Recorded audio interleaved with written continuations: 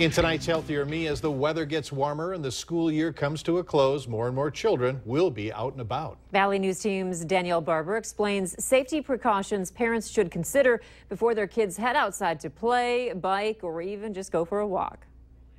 Children ages 5 to 14 are seen in emergency rooms for injuries related to biking more than any other sport. If your kids are going to be riding any kind of bike or any wheeled sport activities, um, wearing a bike helmet will reduce their chance of any kind of head trauma. Elizabeth Ostrich says helmets can protect against severe brain injuries by 88%.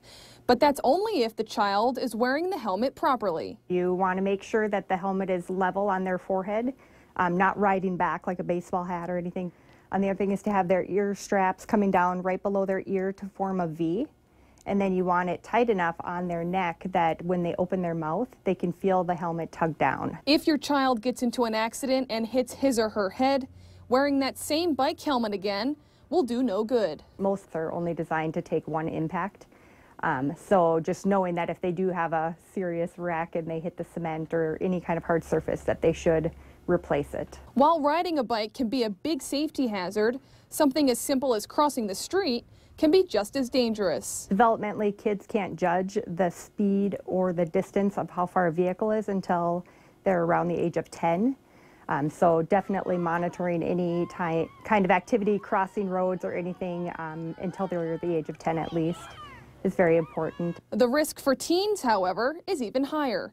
And Ostrich believes the rise in technology is to blame. Don't be texting while they're walking across the street, but also unplugging their headphones um, so that they can hear oncoming traffic because that's a huge distraction of when you're listening to their music or whatever they're listening to. To lower the risk of injury, Ostrich recommends actively supervising your children and making sure they have the appropriate gear on before they do anything.